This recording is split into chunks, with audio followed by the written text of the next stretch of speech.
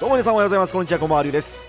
さあ本日も歴代最強デッキ決定トーナメントの様子をお届けしてまいりたいと思います。本日は1回戦第5試合第6試合こちらの様子をお届けしてまいりたいと思っております。それでは早速参りましょう。デュエル。スタンバイ。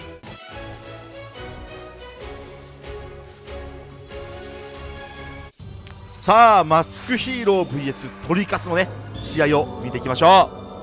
まあほぼ勝負見えてるみたいなとこありますけどね。ほぼ勝負見えてるみたいなところありますけども。一応見ていきましょう。さあ毒風のチムーンの効果、まあ、まだ高校取れたっていうのはまあいいことですかね。あのヒーローが。さあ黒い旋風を、えー、置いていく。で空風のうちにこれ墓所でしょうねこれね。おそらく。ねこれはまあ完全墓所と、えー、いったところ。さあ黒い旋風の効果。2回使ってで下ろしてきた。さあシムーン下ろしからのえー、っとホーク上で、えー、61からシンクロしてで、えー、もう一回シムーンを特殊召喚してで61でもう一回シンクロすると。いったところでしょうおそらくね、まあ、来切り出すか千鳥出すか知りませんけど。さあまあそこそこいい盤面ですね。あとはもうそのあれですわ。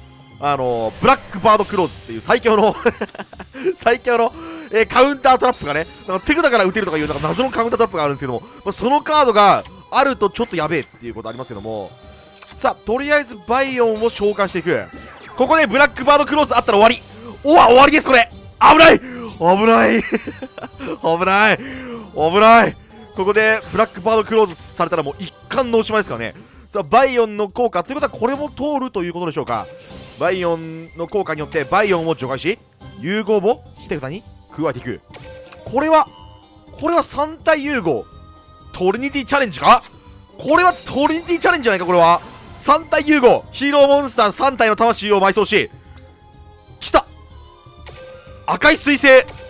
トリニティチャレンジ。うおー。え？これもしかしたら決まる説。これ意外といけるぞ。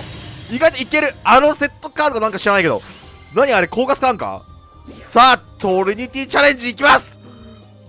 まずは1年だ。さあなんだあのセットカード。なんだ？狡猾な落とし穴だ。選択はトリニティと来キリマスクチェンジ発動。狡猾回避。うわはい。せい。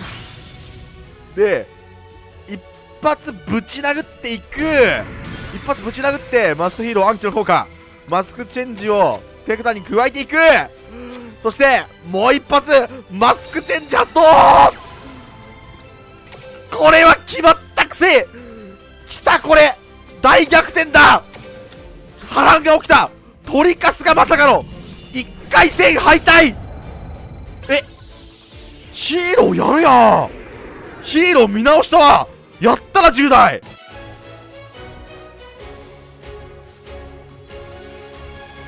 さあ1回戦第6試合。え太鼓の太鼓のデッキすぎる。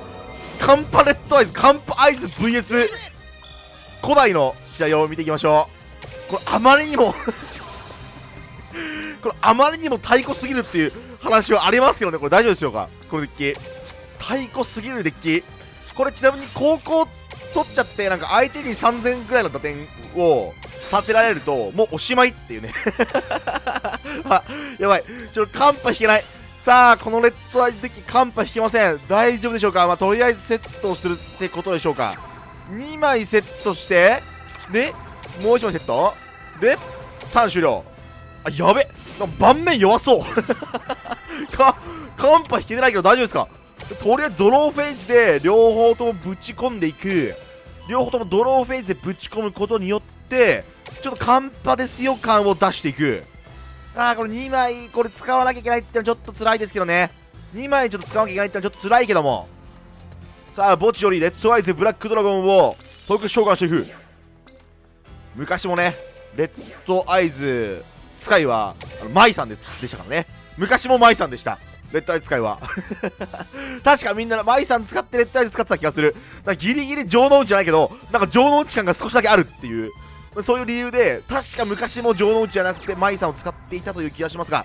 さあカードを1枚セットしダブルサイクルを発動。ダブルサイクルを発動しそのカードは止めていくしかない。神の忠告発動。さあこれで妨害はなくなりました。妨害はもうこれで0万になりました。さあどうなるでしょうか。はい終わったはいレッドアイ石終わった。はい終わった。さあヒアタルンの効果。デッキより安定期やリアクタードラゴンが特殊召喚されさらにワイバーンを召喚。ワイバーンの効果発動さあ安定期やリアクタードラゴンを手札に加えさらにフォートレス発動。終わりました。ちょっとかわいそう。非常にかわいそう。かわいそうなんだけど。なんだよこのデッキ。かわいそうだろ。いじめじゃんこんなの。いじめじゃん。これいじめじゃない？